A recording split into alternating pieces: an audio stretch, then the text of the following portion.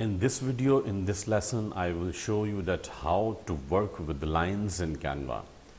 So first of all, line, if you want to create, you can press only L key on your keyboard. Just press L so you can see the Canva will create a line in your document.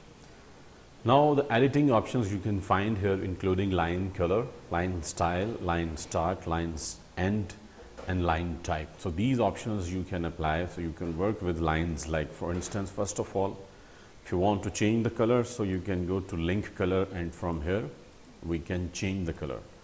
Second line style so this is you can see this is solid and straight line solid but this is like dashed. So these dash you can see like uh, wide dashed and this is like small dashed you can also use these dashed and you can also apply like dotted.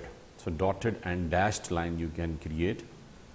And here for example if we zoom the document and here you can see line style now. This is dotted but these looks like you know uh, rectangle so we can change like rounded end points so these are now small circles.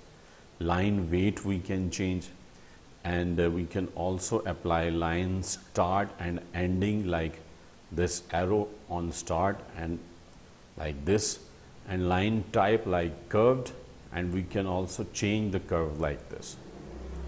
So this we can use to work with lines in Canva. Thank you so much.